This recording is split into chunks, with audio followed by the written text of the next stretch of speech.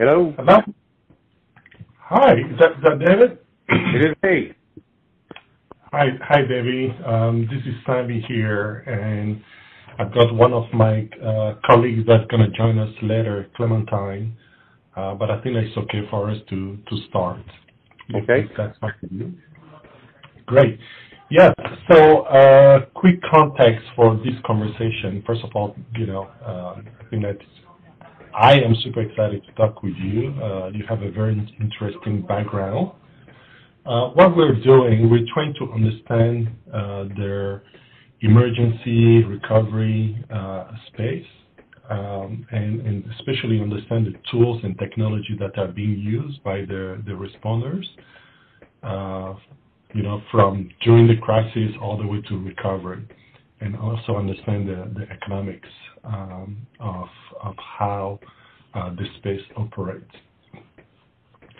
So, uh, and we're just going to keep it as a, as a, conversation. I have a few questions, but uh, maybe to get us going, if you can uh, speak a little bit uh, to your background, and, and then we'll take it from there. Yeah, you have my biography uh, from the GLG uh, program, yes. correct?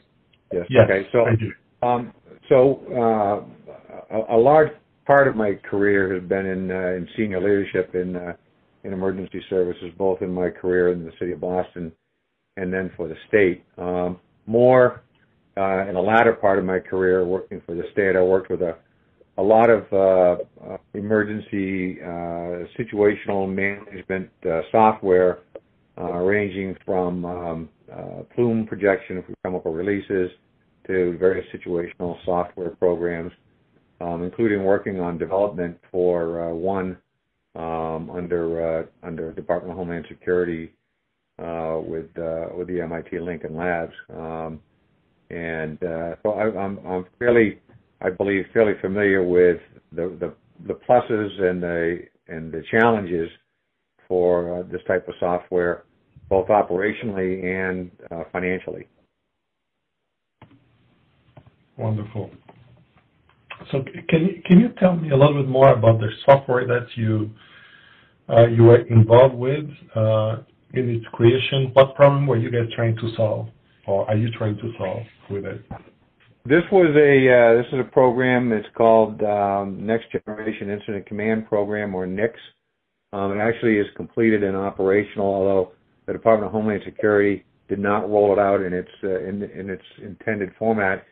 And what it is intended to be is to be a visual uh, map-based uh, incident management tool um, that allows multiple users. It's intended to be free uh, for for all public safety, which it is, um, and and easy to use so that uh, um, maps can be annotated in multiple layers, rooms created, and so forth, so that uh, it it can be shared between agencies and and and the maps that was visible um, can be customized uh, for specific work groups and so forth. Um, and it was a good, pretty good program, but uh, again, the Department of Homeland Security didn't roll it out uh, properly, and so it's not gone very far. Got it. I'm I'm taking notes here. Sure. And and and so so let me see if I can I can say that back. So the tool is some sort of web-based tool. It has a, a, map capability. And then when there's an incident, uh, different agencies can look at the map, look at uh, the different information that are surfaced. They can annotate the map. They can add their own uh, information as well.